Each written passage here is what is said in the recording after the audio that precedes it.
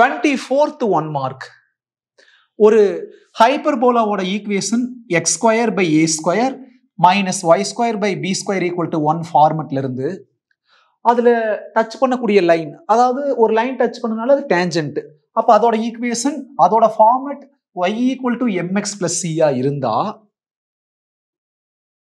இந்த லைன் இந்த ஹைப்பர் போலாக்கு டேஞ்சண்டா இருக்கிறக்கு ஒரு கண்டிஷன் என்ன கண்டிஷன்னா c square equal to a square m square minus b square அதாவது இது ஹைப்பர் போலா இது லைன் இந்த லைன் கொஞ்சம் தள்ளி வந்தா இந்த கர்வ்ஸ்க்கு இதுக்கு சம்மதம் இல்லாமல் போயிரு. கொஞ்சம் உள்ளுக்குள்ள வந்தா காடா மாறிடு கரெக்டா ஒரு பாயிண்ட்ல டச் ஆகி போனா தான் அது டேஞ்சன்ட் அப்படி டேஞ்சண்டா இருக்கிறதுக்கு இது கண்டிஷன் இது எதுக்கு உண்டான கண்டிஷன் இந்த லைனு இந்த கேர்வுக்கு டேஞ்சண்டா இருக்கிறதுக்கு கண்டிஷன் இது ஜென்ரல் ஃபார்ம் நம்ம கொஸ்டின்ல இந்த y equal to mx plus சிக்கு பதிலாக y equal to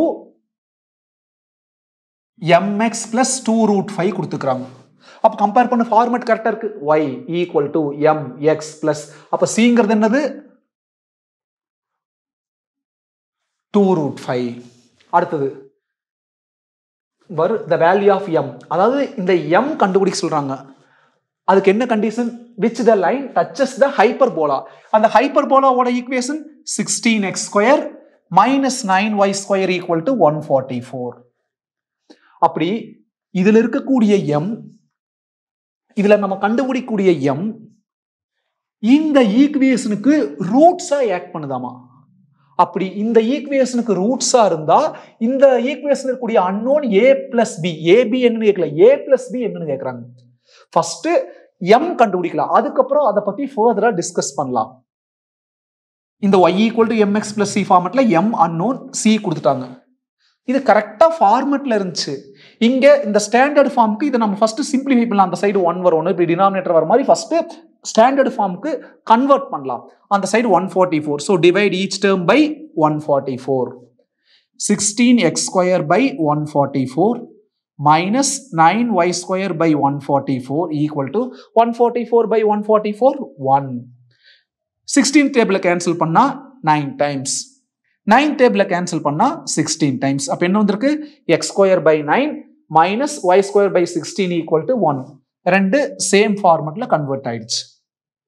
என்னைக்குமே ஹைப்பர்போலா பொறுத்த வரைக்கும் நமக்கு தெளிவாக தெரியும். அந்த பாசிட்டிவ் எக்ஸ் ஸ்கொயர் தான் பாசிட்டிவ் பாசிட்டிவ் டினாமினேட்டர் தான் ஏ ஸ்கொயர் ஏ ஸ்கொயருங்கிறது நைன் நெகட்டிவ் டினாமினேட்டர் தான். அந்த ஸ்டாண்டர்ட் ஃபார்ம்ல நெகட்டிவ் டினாமினேட்டர் தான் பி ஸ்கொயர் அப்போ பி ஸ்கொயருங்கிறது சிக்ஸ்டீன் இந்த லைன் டேஞ்சண்டா இருக்கும்னா இதுதான் கண்டிஷன் இதுல இந்த ஏபி எம்சி நாலுல மூணு நோன் இருக்குது. அந்த மூணு நோன் சப்ஸ்டியூட் பண்றப்போ ஆட்டோமேட்டிக்கா நாலாவதா இருக்கக்கூடிய அந்த அன்னோன் கிடைச்சிரும். எல்லாம் ரீப்ளேஸ் பண்ணிக்கலாம். சி சிக்கு பதிலாக டூ ரூட் ஃபைவ் அந்த ஸ்கொயர் அப்படியே equal to a square a ஸ்கொயருங்கிறது டைரெக்டாக நைன் இருக்கு. எம் தெரியாது. அப்போ அந்த எம் ஸ்கொயர் அப்படியே எழுதிக்கலாம்.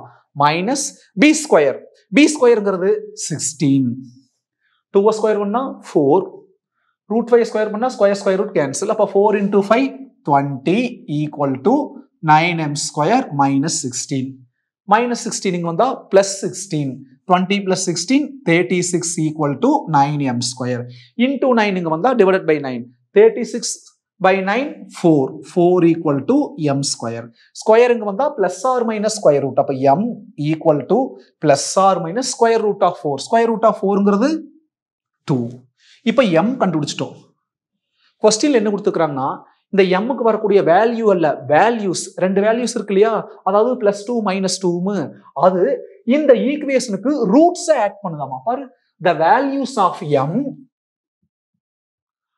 are the roots of this equation என்ன equation x square minus a plus b into x minus four equal to zero இந்த ஈக்குவேஷனுக்கு இது என்னவா ஆக்ட் பண்ணுது? ரூட்ஸை ஆக்ட் பண்ணுது. அப்போ அந்த எம்மோட வேல்யூ என்னது? ஒன்று பிளஸ் டூ இன்னொன்று மைனஸ் டூ இப்போ தேர்டு சாப்டருடைய அட்டகாசமான கான்செப்ட் ஒரு ஈக்குவேஷன்ல கண்டிப்பா அதனுடைய ரூட்ஸை கொண்டு போய் சப்ஸ்டியூட் பண்ணலாம். அந்த எக்ஸுக்கு பதிலாக அங்கே என்ன வேரியபிளுக்கு அதுக்கு பதிலாக சப்ஸ்டியூட் பண்ணலாம். இதுதான் தியரி ஆஃப் ஈக்குவேஷனுடைய கான்செப்ட் இங்கே என்ன மெயின் கான்செப்ட் இந்த சாப்டர் பொறுத்த வரைக்கும் ஒரு ஈக்குவேஷனில் எந்த பாயிண்ட் சப்ஸ்டிட் பண்ண முடியும்? அந்த ஈக்குவேஷனுக்கு உண்டான டயக்ராம் மேலே இருக்கிற பாயிண்ட் அந்த ஈக்குவேஷனில் சப்ஸ்டிட் பண்ணலாம். அதே மாதிரி தியரி ஆஃப் ஈக்குவேஷன்ஸில் மெயின் கான்செப்ட் என்னது? ஒரு ரூட்டை கொண்டு போய் அந்த ஈக்குவேஷனில் சப்ஸ்டியூட் பண்ணுறக்கு அதுக்கு எலிஜிபிலிட்டி அதுக்கு தகுதி இருக்குது இப்போ இந்த எம் வேல்யூ வந்து இந்த ஈக்குவேஷனுக்கு ரூட்ஸாக இருக்குது. அப்போ இனி ஏதாவது ஒரு ரூட் எடுத்துக்கோ. அந்த ரூட்டை கொண்டு போய் கண்டிப்பாக அந்த ஈக்குவேஷனில் அந்த வேரியபிள் எக்ஸுக்கு பதிலாக சப்ஸ்டியூட் பண்ணலாம். அப்போ எக்ஸுக்கு பதிலாக டூ மைனஸ் டூ எது வேணால் சப்ஸ்டியூட் பண்ணிக்கலாம். நான் டூ சப்ஸ்டியூட் பண்ணிக்கிறேன். எக்ஸுக்கு பதிலாக டூ டூவை ஸ்கொயர் பண்ணால் ஃபோர் நான் எழுதிக்கிறேன் at x equal to two two substitute பண்ணாலும் சரி மைனஸ் டூ சப்ஸ்டியூட் பண்ணாலும் சரி. இப்போ நம்ம எதை சப்ஸ்டியூட் பண்ணிக்கிறோம்? டூ டூவை ஸ்கொயர் பண்ணால் four minus a plus b into x எக்ஸ்க்கு என்ன எடுத்துக்கிறோம்? Two minus four equal to zero minus four plus four cancel மீதி minus a plus b into டூனால் ஒன்று தான் minus two into a plus பினால் ஒன்று தான் minus two into a plus b equal to zero into minus two அங்கே போனால் divide by minus two zero by anything zero what we are getting a plus b equal to zero அவன் a தனியா B தனியா கேட்கல ஏ plus b தான் கேட்டுக்கிறான். Then the value of a plus b தான். What we are getting? A plus b as 0. So third option is the best option.